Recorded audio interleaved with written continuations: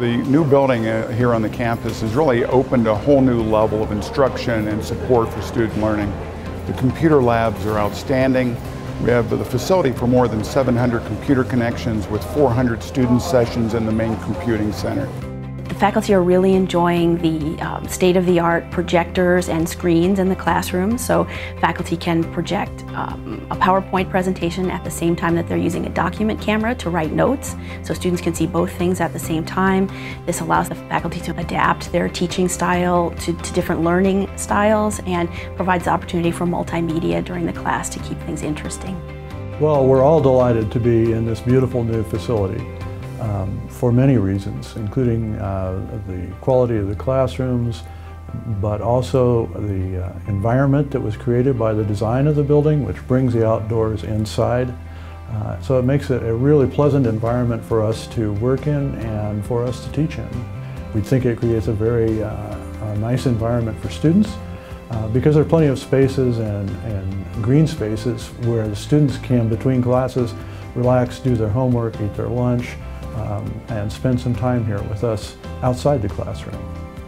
One of the um, really interesting things that we found out is that um, there are different spots to take a break and you have whiteboards there. So while you're taking your break, you don't have to leave the um, building. You can just sit there with your friends and do your homeworks on a whiteboard and it's like really you know, helpful. The computers are way faster than the old ones in the old, old computing center. And classes are really close to each other, so you don't have to run around the campus to get to your class. And I think that's like really important. All of our faculty is in one place. Um, we have one corridor with all the faculty offices now. We used to be spread out quite a bit. The faculty gets to see each other a lot more often. Conversations start um, questions are asked and answered.